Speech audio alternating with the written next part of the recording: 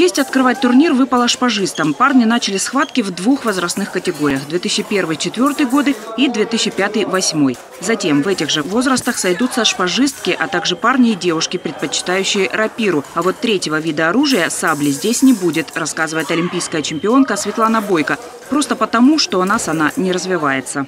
Разряды можно будет присваивать все, вплоть до мастера спорта, потому что это турнир официальный. Он входит в единый календарный план э, Минспорта России.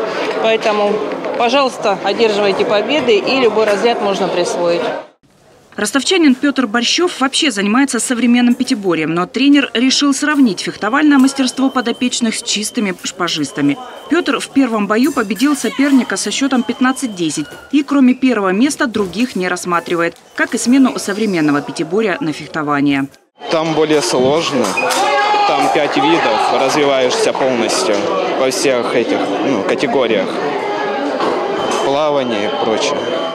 Уже второй год на турнир приезжает крымская делегация во главе с мастером спорта СССР, президентом Федерации фехтования Крыма Владимиром Ушаковым. Команды из республики будут сражаться в каждом виде оружия. Мы участвовали в первенстве России по кадетам. Результаты, конечно, нас немножко шокировали, но это уже как первые разы, они всегда, как говорится, первый блин комом. А вот у луганского шпажиста первый блин вышел нормальным. Пока одни использовали свои маски вместо табуретки или едва сдерживали эмоции после неудачных поединков, Никита Пальчук целенаправленно шел к одной восьмой финала. Благодаря подсказкам тренера провел на две удачные атаки больше соперника и победил 15-13.